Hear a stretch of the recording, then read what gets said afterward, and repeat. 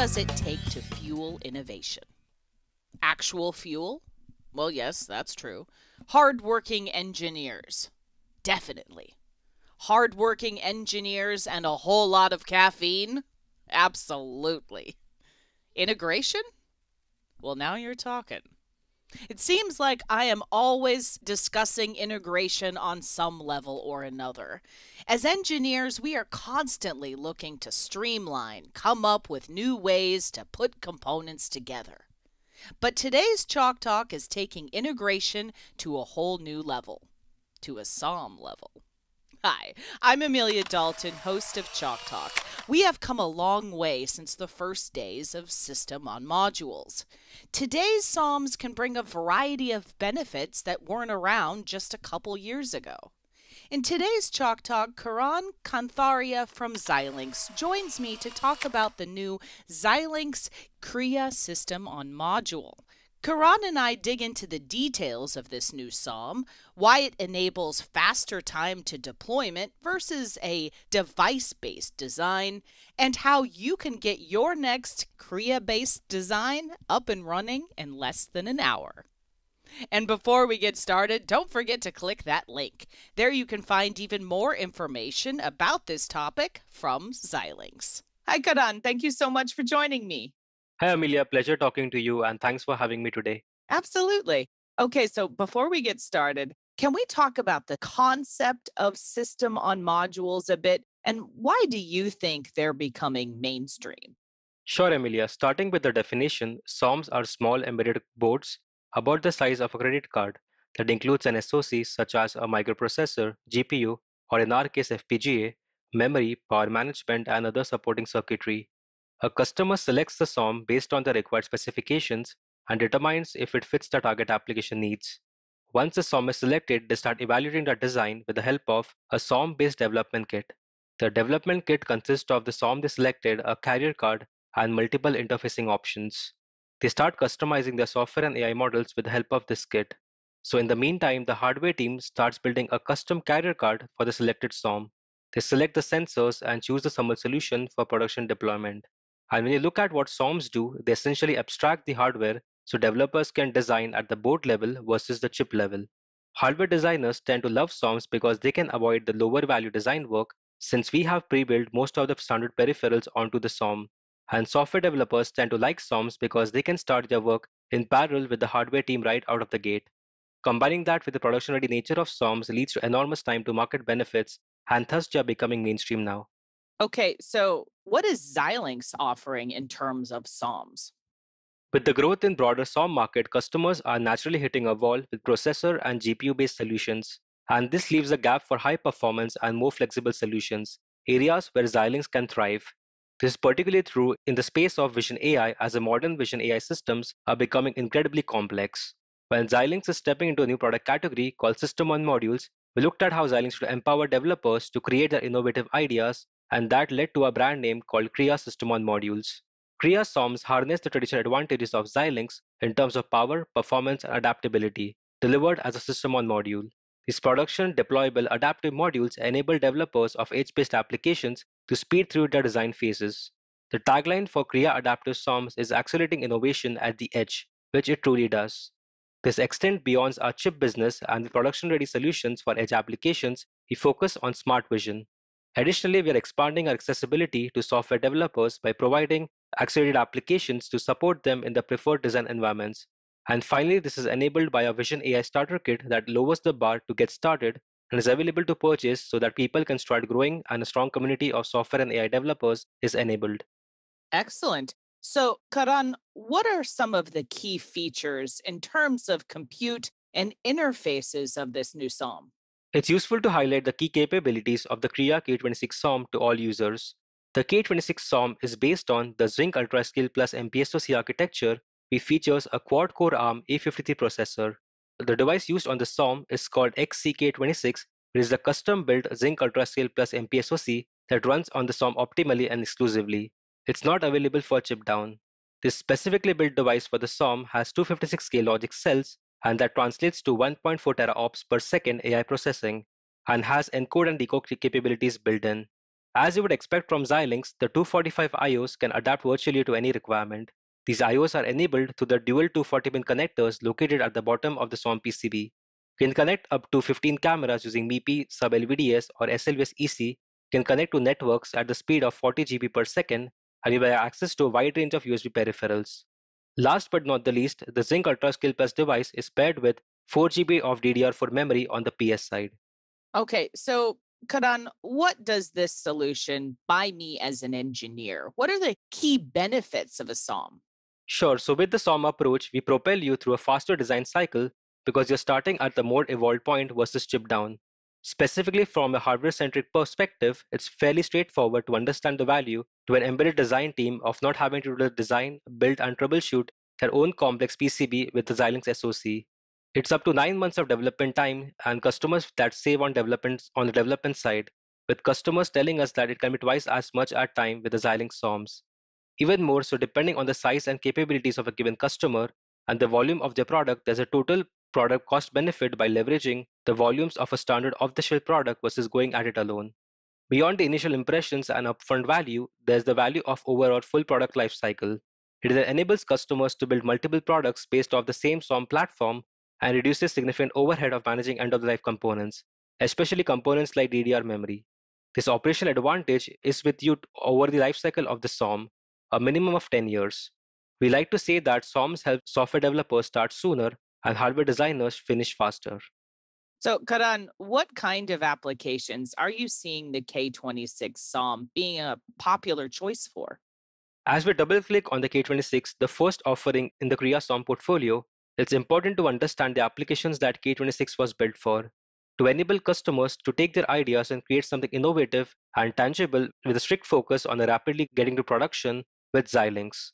Xilinx needed to focus on specific applications, our initial areas of focus are on security, smart city, traffic, and retail analytics, with the growing emphasis on machine vision and vision guided robotics over time.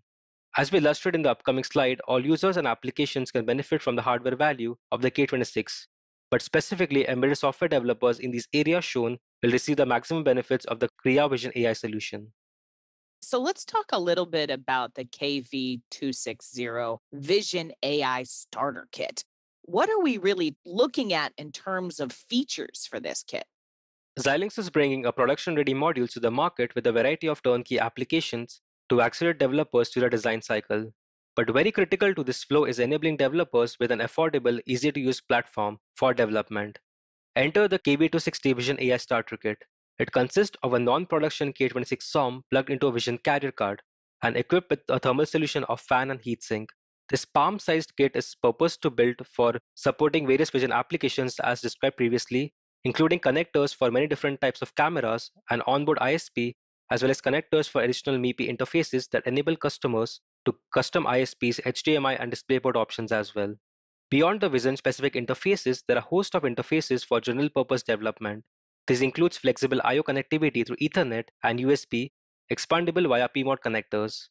Additionally, this is a very accessible kit at a low price point of $199 and a wide availability with Xilinx and our channel partners like Avnet, DigiKey, and Mouser. This kit is an excellent starting point for developers using Vision applications, but given the price point and the open model of general accessibility, it's very well positioned for more organic growth for countless additional applications. Okay, so you mentioned that this kit is out of the box ready. Karan, can you elaborate on that a little bit? Sure, speaking of accessibility and out of the box readiness of the KV260, a critical element of this experience is ensuring developers can get started quickly. Towards that end, we have created a simple but relevant out of the box experience that enables to get started in less than an hour. And even more important is that the experience shows off the traditional FPGA advantages but requires no FPGA experience to get started. That's right, no knowledge of FPGAs are needed for the starter kit, including downloading any FPGA tools required. The flow is simple. Connect the kit up, invoke the terminal on your host machine, insert the SD card, and turn on the board to load and run the applications. The starter kit comes with a very small document inside the box which has a QR code. The QR code upon scanning takes users to a getting started web page that contains all the instructions to make the connections and guides them to run our first accelerated application which is Smart Camera. The goal is to make the experience as smooth as possible and easy to understand. Okay, so now we have the hardware in the form of the starter kit. and we just ran our first application. Karan, is there anything else I can do? There's a lot of more things to do. We saw the basic smart camera application on the prior slide. Here's a glimpse of what else you can do. On the top row here, there are first six accelerated applications that you can purely edit while updating software and AI models. These are available soon at launch or after launch. These are open source applications provided at no charge and range from smart camera to an AI box, and even something like a natural language processing. On the bottom row, you have apps from our partners. Speaking of third-party applications, we are not going to walk you through everything on the slide, but I'd like to highlight one of the bottom right applications from Uncanny Vision that is doing license plate recognition. Coming on to this slide, we're going to walk through the competitive analysis on the next slide as well. Before we move on, Kria SOMs enable something special. Select Xilinx without needing to do place and route. Software developers don't know what place and route is, and they don't need to worry about that with the Kria SOMs. We are very excited to announce that this is the first embedded app store for edge applications. The App Store contains both no charge, like the Xilinx apps just described, as we're enabling partners to offer apps for a fee. Enabling partners to monetize, they are incentivized to deliver high quality applications in turnkey and enable the software development for a number of application spaces. And because the solutions are tied to a specific board with fixed I/O, the approach is low burden than traditional IP development, which takes a longer time. This App Store is already a huge boon to partners, but notably Xilinx will be building additional monetization capabilities for partners into the App Store in the future, so stay tuned for that. Okay, so Karan, I know that Xilinx has a wide range of software tools to help FPGA developers of all kinds. Can these tools also be used for the SOMs? Yes, they can. So we just introduced uh, the Accelerate applications, the starter kit, and how it all comes together for quick evaluation. When it's time to design and customize the end application, we have a very streamlined path for AI developers where you can leverage the applications as it is and you can replace the Xilinx AI model with your own custom AI model and application code and make this deployment ready. We have Vitis AI for this purpose. The pre-built hardware saves you the most time if you can use the fully paved road. If you want to customize beyond that, there's a software-centric path for further customization and accelerating the vision pipeline. We have our Vitis unified software platform for that for the ultimate flexibility, there is always a traditional hardware or FPGA experience design path for customization at the RTL level. This is using our Vivado tool. For any path chosen, we offer a design environment familiar to both hardware and software developers.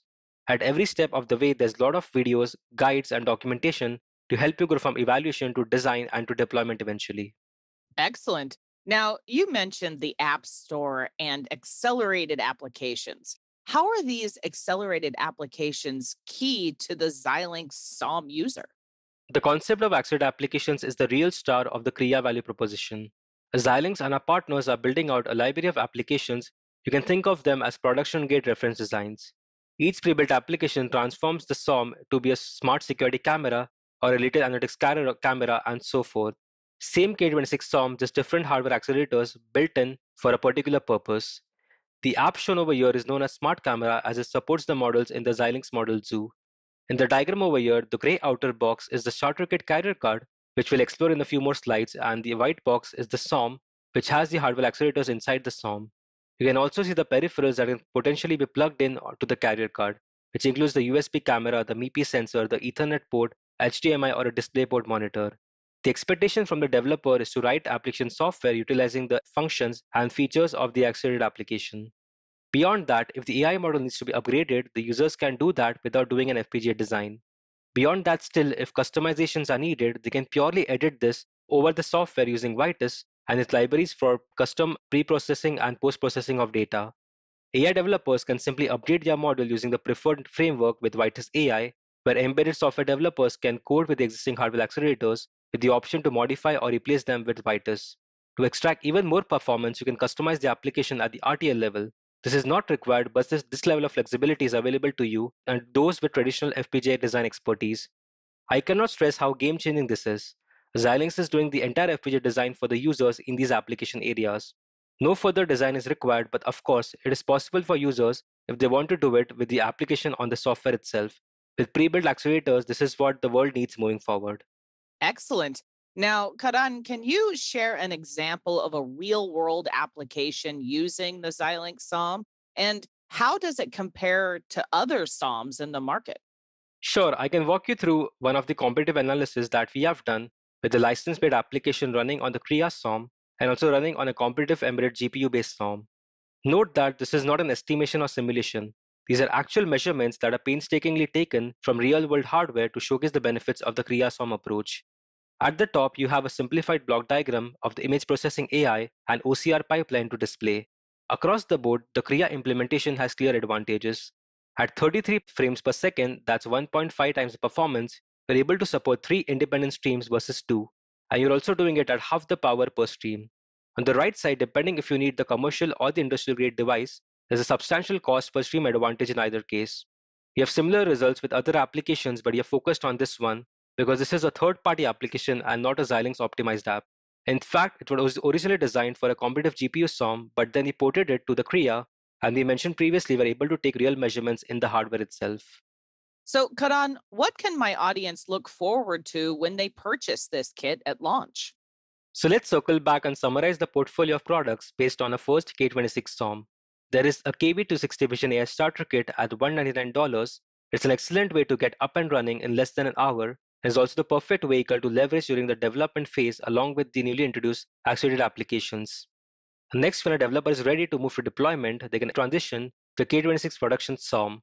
And like the starter kit, the SOM is competitively priced at $250 and $350 for the commercial and industrial grade variants respectively. These products, in combination with the applications, are an incredibly powerful way to unlock the capabilities of Xilinx and both the traditional developers and a whole new group of software developers.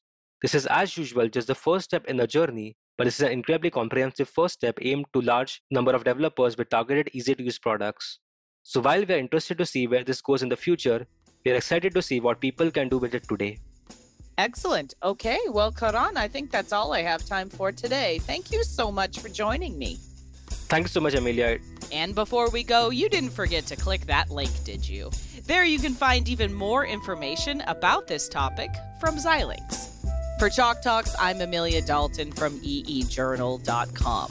For more Chalk Talks, head on over to the Chalk Talk section of EE Journal. You can't miss it, it's right across the top. Or head on over to YouTube, youtube.com slash EE Journal.